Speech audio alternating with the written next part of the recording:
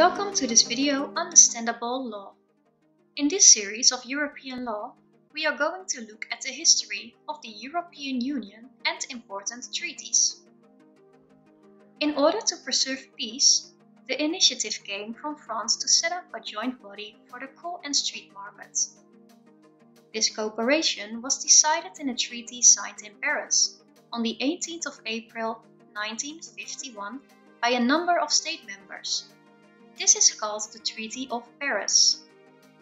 The countries that joined this community were Germany, France, Belgium, Italy, Luxembourg and the Netherlands. Since then, the European Union has evolved as the joint body continues to expand and expand its scope of policy areas. Two treaties were signed in 1957. The treaty establishing the European Economic Community abbreviated EEC, also called the Treaty of Rome because they were signed in Rome, and the treaty establishing the European Atomic Energy Community, abbreviated Euratom. So there were three treaties, three communities, but in practice they worked together as one. Therefore, a few years later, in 1967, these communities were merged by means of a merger treaty. A few years later, in 1972, the community continued to develop and more states joined, like Denmark, Ireland, and the United Kingdom. Greece joined in 1981 and Spain and Portugal in 1985. In 1992, the community was named the European Union by Maastricht Treaty the European Union was found on the basis of three pillars EEC, ECSC, and Euratom. The Treaty on the European Union was part of this Maastricht Treaty. The European Treaty contains values and goals of the European Union. This European Union was more politically oriented than the community had been. After that, developments accelerated. Austria, Finland and Sweden joined in 1994.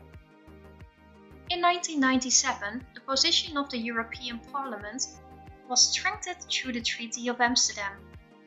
And in 1999, the euro came as the common currency. In 2001, the Treaty of Nice was signed with the aim of preparing the European Union for further enlargements. The Charter of Fundamental Rights was signed and the European Parliament was giving legislative and controlling powers. In 2004, many countries joined the European Union.